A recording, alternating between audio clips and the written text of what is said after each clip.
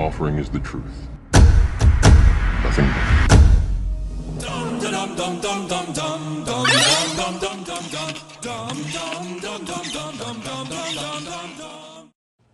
Good afternoon, everyone, and welcome to episode six of Debunking Professor Dumb Dave. Now, as you all know, in episode five, we debunked Professor Dumb Dave's challenge number five and challenge number six. So, in this episode, we're going to be debunking his challenge number seven. So, let's go check out Professor Dumb Dave's challenge number seven. This time, I'd like to offer some challenges to you remaining few that are desperately clinging to this dying fad to derive some semblance of self worth. Let's call them 10 Challenges for Flat Earthers. Number 7. What the hell is a lunar eclipse to you? Seriously, explain anything about a lunar eclipse. The things you say about solar eclipses are stupid enough, but at least you say something. A lunar eclipse happens when the Earth gets between the Sun and the Moon. That's right, in between. These two objects are not perpetually above a flat plane, and you know it, which is why you're totally silent on lunar eclipses. And if you're going to propose that some other object besides the Earth is what obscures the moon, good luck trying to demonstrate its existence.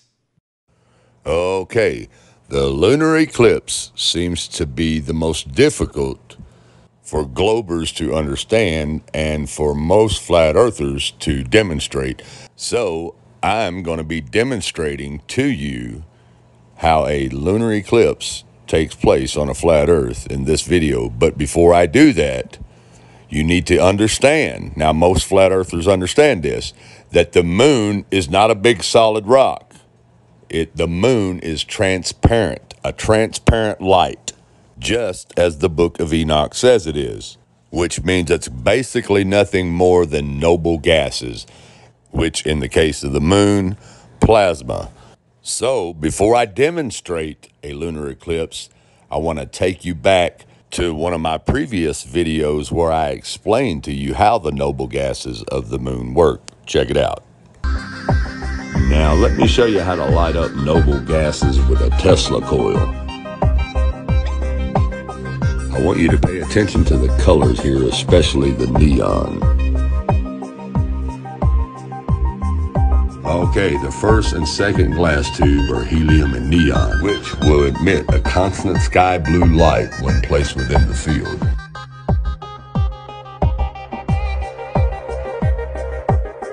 Now, neon will also emit red and yellow photons as well. The sky looks blue because it is blue. Photons are a specific frequency our eyes interpret as blue. So you have helium, neon, argon, krypton, and xenon. These are the noble gases that make up 1% of the air. So as you see, the sun creates the field, and the noble gases within this field create the light. You could say the sun governs the light, in other words.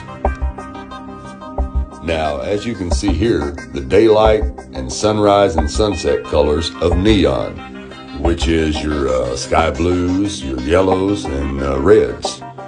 Remember that, everyone. Sky blue, yellow, and reds. Look for them the next time you watch the sunset. Now, the moon is also made up of these noble gases. As you can see right here, the moon is transparent, which explains why you can see through one side of it as you see here. Remembering what I taught you before, the electromagnetic field of the sun is pulling on the fields of the earth as it passes over the earth, just as it pulls on the magnetic field of the moon as it passes it. Just like the Earth's light is transparent, but when you concentrate and intensify the discharge of photons, it becomes impossible to see through. As you can see here, the sun on one side of the moon is intensifying the discharge of photons, but you've been taught that it's reflecting the sun's light. But it's the electromagnetic field of the sun lighting up the photons being discharged from the moon gases, making it impossible to see through like you can on the right side of it. And therefore, now you know how you get your moon phases. As you can see here, the sun is making its circuit around the right side of the moon now, and then it's eventually going to be in front of it. Now, when it's directly in front of it, that's when you have your full moon.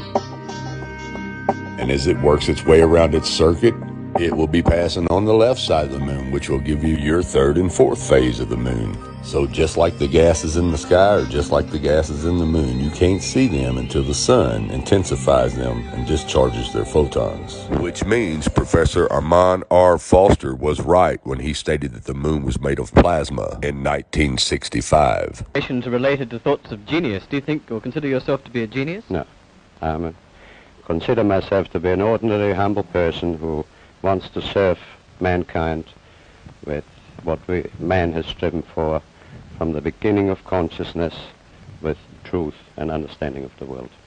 Well, now, one thing, you have a theory about the moon, and we expect to be able to get observable facts about the moon fairly soon. Um, what is your theory? Well, uh, it is by now rather more than a theory. Uh, 10 or 11 years ago, I stated to various scientists that the moon is not a piece of rock, but it is a plasma, a plasma phenomenon, a cosmic plasma, uh, and that this fact will eventually be confirmed. I made certain predictions which were already confirmed in 1958, and the situation now is coming close to a complete confirmation. What will be the result if you're proved to be correct in your theories? The result will be uh, profound and decisive because it will give proof that a complete re- reinvestigation of the laws of nature is necessary. Because if the moon is a plasma, no man will ever land on it. The soft landing attempts will all fail. That means that the mass of the moon is less, far less than is currently assumed. It's in a different state of energy and it has far less mass. That means there is no more explanation for the tides. If the moon, for example, had only a thousandth part of its current mass, then the tides would only be two inches high under conventional theories instead of sometimes 14 feet. And that means that if it is proved that the moon is a plasma, then all gravitational theories are out and a new concept of the cosmos and of its laws has to be evolved. But the moon is definitely, as I assert, a plasma, uh, this crisis. So it comes again to the age-old concept that truth is the guidance, the hope, and the directive of the human mind, and that man must strive to understand and to know the real nature of the world. Plasma, an ionized gas consisting of positive ions and free electrons in proportions resulting in more or less no overall electric charge. So, as you can see, like I said, the professor was right. Now, just in case you are still confused on how the transparent moon works with the sun, I'm going to demonstrate it for you as simple as I can demonstrate it. Okay, here now, check this out. Okay, so I'm going to step out back here for a second so you can see that this background is not fake. This is really what it looks like out back right now. Okay, now let's step back inside the screen door here. Now, here's what I want you to pay attention to. See how you still see the little playground there? But also at the same time, you see my face, my head, my hand through the playground? or actually see the playground through my head and face. Now, let's say the playground is the sky above, and my head and face are the moon. Okay, so you see how my head and face are transparent? That's how the moon is at all times until the sun excites the photons in the gases of the moon. And when that happens, the light from the gases are so bright you cannot see through them. So let me give you an example of what I'm talking about. Now let's use the energy of the sun. Okay, now you see how my face lights up so bright you can't see the playground through it? And if I move the sun to one side of my face, it lights up one side of my face, but the other side of my face is still transparent and you can see the playground through it. That's how the moon works. When the sun excites the photons, of the gases of the moon. And that is how you can see through one side of the moon, but not the other. So, now that you understand how the transparent moon works, let's move on with demonstrating how the lunar eclipse works. Okay, now remembering that an eclipse can only happen either on a full moon or a new moon. A total eclipse takes place when the sun is very close to the moon and passing right over the moon, which would be a new moon. And I explained it in a previous video like this right here. Okay, the sun and moon are like the minute and the hour hand on the face of a clock, pretending that this face of this clock is the face of the flat earth. With the sun being the minute hand and the moon being the hour hand. The sun will eventually pass over the top of the moon, just like the minute hand will eventually pass over the top of the hour hand, causing what we know as an eclipse, as you can see here. And like I said, the total eclipse can only happen with a new moon, which means the sun and moon are right there together. The sun passes right over the moon. And as the sun passes right over the top of the moon, that's where you get your uh, totality at. The, you can't see the sun because it's moving across the top of the moon, which excite the photons only on the top of the moon, therefore making it so bright impossible to see through. But you can't see that brightness because it's facing the sun. The sun's passing over the top of it. We're seeing it from the bottom side, which is why we see blackness. But the lunar eclipse is totally the opposite. A lunar eclipse can only happen during a full moon, which means the sun is on one side of the flat disk Earth and the moon is on the other, and they are not side by side like in a solar eclipse. So, with the sun being on one side of the flat disk Earth and the moon being on the other, that's kind of halfway right about what science tells you. You know, you got a full moon because the sun's directly in front of it on the other side of the earth. So, on the side of the earth that's dark at nighttime, you can't see the sun's light because you're on the ground. But if you were way up in the sky where the moon's at, you would still see the sun's light because you would be up high enough to see across the flat plane of the earth. So, like I said, even though you can't see the sun's light from the ground, you can still see the sun's light from the height of the moon. And therefore, that's how you get your lunar eclipse. The moon still has to cross the path of the sun's light, but from the opposite side of the flat disk Earth. And now I'm going to demonstrate how that causes a lunar eclipse. Now, the lunar eclipse lasts about four hours. That's about how long it takes the moon to pass across the light of the sun as it's making its circuit around the flat disk Earth.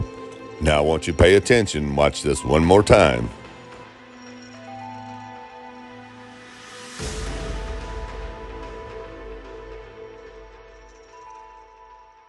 Okay, now here we have the full moon, which, as you all know on the flat Earth, it makes its circuit clockwise just as the sun does.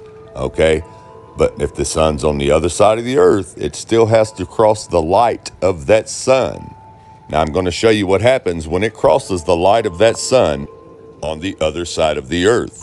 Now, watch the shadow on the moon as we make our circuit around the earth. We eventually cross over the path of the sun on the other side of the earth. Check out the shadow. Okay, here's your lunar eclipse right here. You See the shadow move up? It stays on there for four hours till the moon passes back, and then it goes off the other side of it.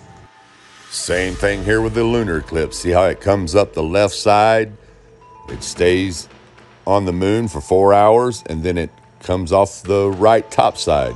Same thing here. Once again, comes up the left, shadow of darkness for four hours, then then boom, it comes back up the right top side of the moon. One more time, check it out. Then we have darkness across the moon for four hours, then bam, it goes right back off the other side. And that can only happen with a transparent moon making a circuit around a flat earth. And therefore, come on, you guys say it with me debunking Professor Dumbdave's number seven challenge. And bringing us to the end of episode six. But everyone join me in episode 7 as we debunk Professor Dumbdave's challenge number 8. Everyone, thanks for watching. Have a good evening and God bless.